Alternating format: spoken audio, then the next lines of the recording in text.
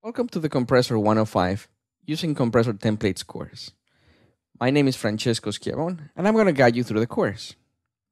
I've been wanting to do the compressor courses for a number of years because video compression for me was the main aspect of multimedia that I got involved in my professional life. This course focuses on compressor templates. Now, compressor templates are the easiest way to use compressor.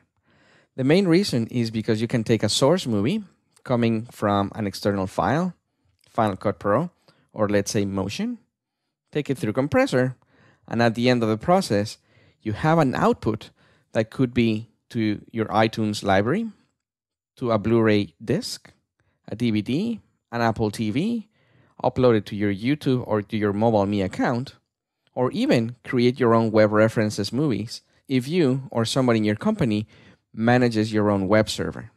Now, the difference between working with batch templates and working with other compressor workflows is that in a typical compressor workflow, what you have is a source coming from either a movie or Final Cut or whatever.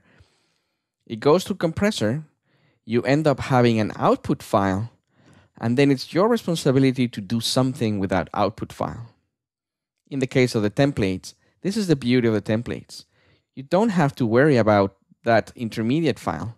Rather, compressor does all the way to the final output. So let's get started.